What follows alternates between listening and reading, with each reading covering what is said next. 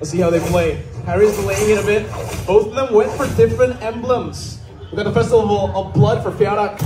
For Sustain, Kairi already with a high and dry. Early on, mid lane clear is what Phearak's trying to go for. Looks like Kairi wants to take a different route. Over. Up top, Phearak's going for a Litho Wanderer. Both junglers just trading.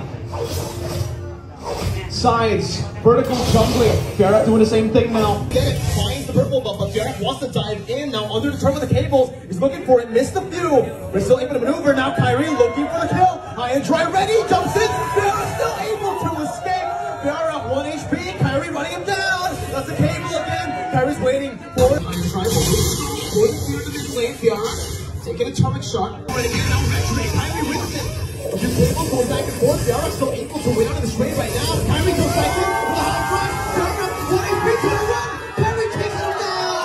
Win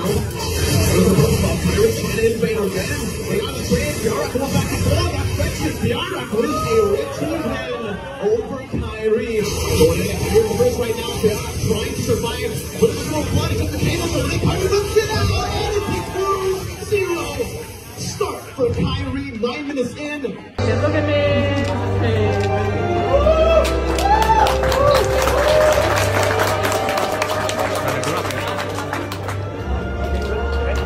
Much respect do you have for him right now? After seeing how he plays and the fact that he got two level lead at one point up against you, man, he consider you the best jungler in the world. Uh, I don't know, but I think personally, I think it's a better Fanny. He's a better fanny than you personally. You think? Wow, wow, wow. And I think everybody has a newfound respect for you, man. You are absolutely amazing. Let's give him a round of applause. Wonderful performance again. So impressive. Very, very impressive. Wow, wow, wow.